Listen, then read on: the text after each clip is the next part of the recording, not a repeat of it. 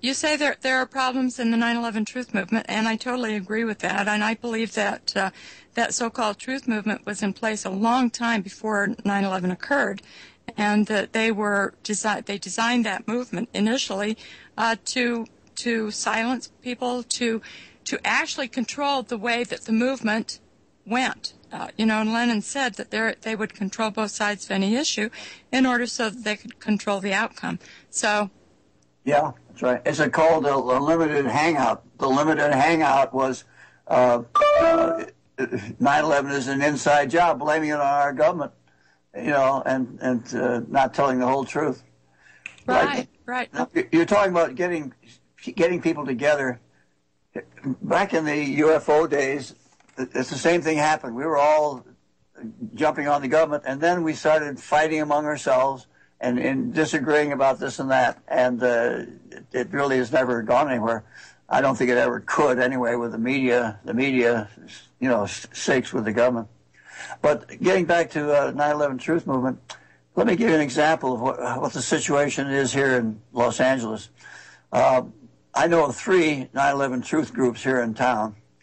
Uh, one is um, uh, the first one was uh, We Are Change LA, and uh, there's another one that's called We Are Change um, uh, we, Holly, call, we Are Change Hollywood, and uh, and then there's another one I can't think of the name of it.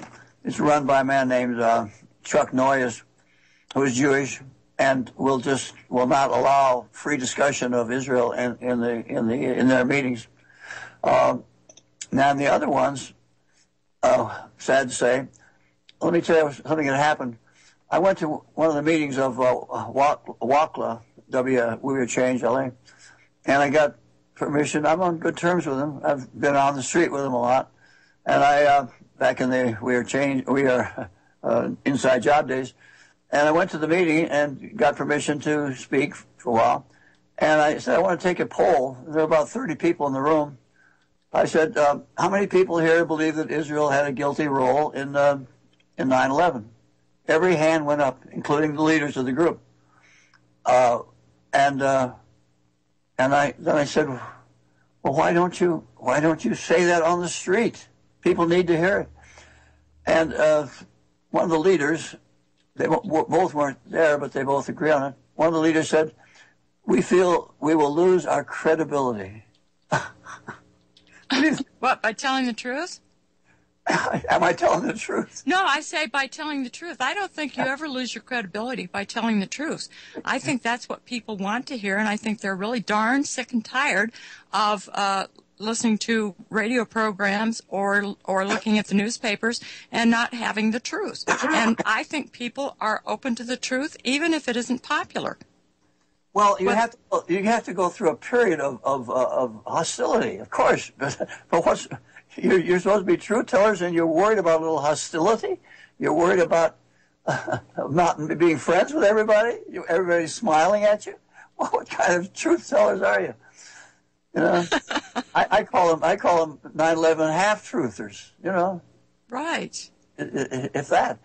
Uh, so that's that is a typical that's a typical thing uh, they they don't want to put it out in in the street, and and believe me, a lot of people, as I found when I when I with this No More Wars Israel, I found a lot of people that are waking up, you know, and and let's how much time do we have? I tell these people, we, you're going to lose your credibility. How much time do you have?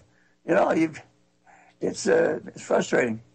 But, well, uh, I think I think that people, if if uh, people have the right information, they've done their homework, they've looked at the, the resources, uh, that if they back what information they disseminate with hard facts, that well, we, you will you will gain credibility.